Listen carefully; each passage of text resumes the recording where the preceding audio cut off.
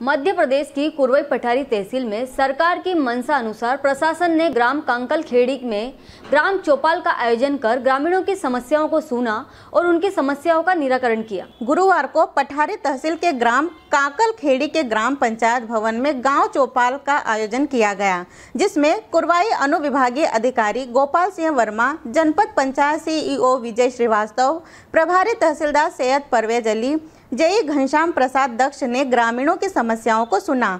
चौपाल में ग्रामीणों ने विकास जन समस्याओं और अन्य मुद्दों को जमकर उठाया, जिसके निराकरण के लिए प्रशासनिक अधिकारियों ने तत्परता दिखाई। सरपंच प्रतिनिधि ने विकास कार्यों को गिनाया। स्कूल बाउंड्री वाल, शांति धाम निर्माण, पेयजल व्यवस्था और सीसी सड़क की मांग की प्रशासन ने शीघ्र पूर्ण कराने का आश्वासन दिया।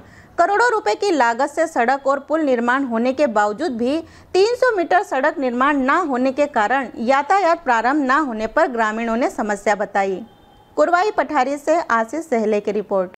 खेड़ी जिला विदिशा में पठारी तहसील के अंतर्गत आता है। एक सड़क की समस्या है शमशान की समस्या पीने के पानी की समस्या और गाँव में निर्माण कार्य की समस्या बाउंड्री वाल की समस्या ये समस्याएँ आई है जो इस स्थायी कार्य की प्रकृति की समस्याएँ हैं और इनके निराकरण के लिए संबंधित जो भी हमारे विभाग है उन्हें दिशा निर्देश जारी कर दिए गए हैं। कुछ व्यक्तिगत समस्याएँ भी यहाँ पर आई थी उनके निराकरण भी बहुत जल्दी कर दिए जाएँगे। उसमें जो प्रोसेस करने की प्रक्रिया रहती है प्रक्रिया पूरी होगी और उनके निराकरण किए जाएँगे।